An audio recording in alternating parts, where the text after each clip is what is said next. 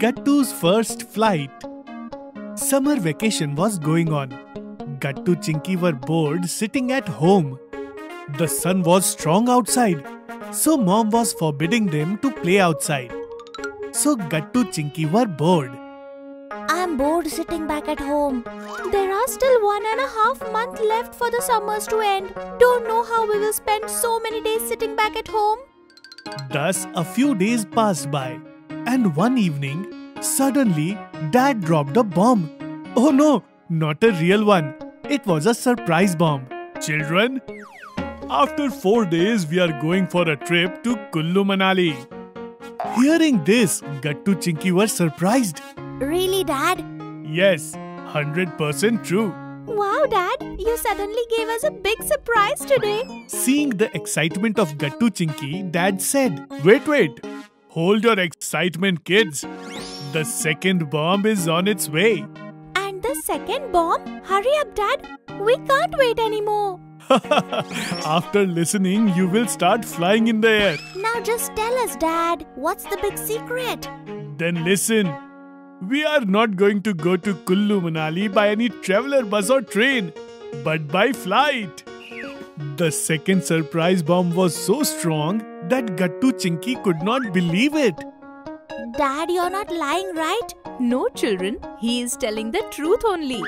He has even booked flight tickets for the four of us already. Yes, we will be going to Kullu Manali by flying and return back flying. Hearing this, Gattu Chinky were super excited. They started flying here and there in the house, and within seconds, they ran out of the house. Hey, children, where are you going now? Let them go. They are so happy that they cannot contain this happiness to themselves. Must be going to tell Hari and Gaddi. You are absolutely right. Both of them were going crazy. They were so bored sitting back at home. It is good that you planned this trip for Kullu Manali. Really? Just the kids were getting bored. You were not getting bored.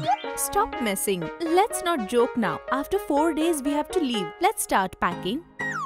When Gattu Chinky came home, both of them started packing their own stuff, and in no time, both of them got ready with their heavy bags. When Dad saw both of their bags, he was surprised. So many heavy bags? What have you kept in these bags? Nothing, Dad. Clothes, towel, blanket, mat, toys, and books. Shoes, sandals, piggy bank, and everything. Kids, we are going there for a couple of days. We are not going to settle there. Take out everything immediately and take what you need. What luggage do they have anyway? Just their clothes. Gattu Chinky, put your clothes in our bags. Gattu Chinky got angry on hearing this. Why, Mom? Why can't we take all our stuff? Taking too much luggage is not allowed on the flight. How will the plane fly with so much of your heavy baggage with so many loads on the ship? Think about it from this perspective.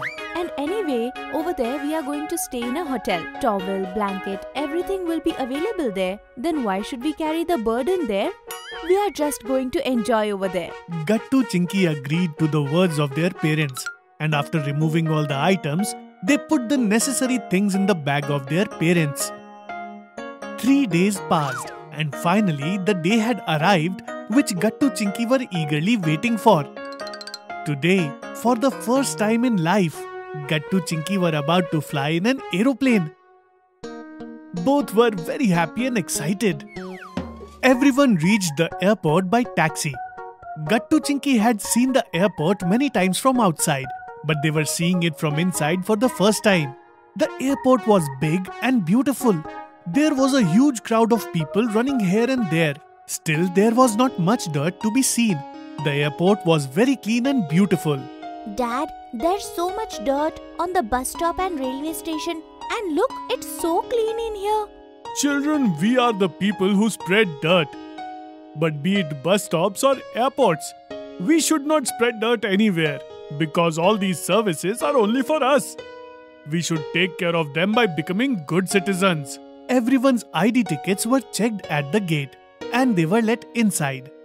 Inside, baggage checking, body scanning, and other formalities were completed.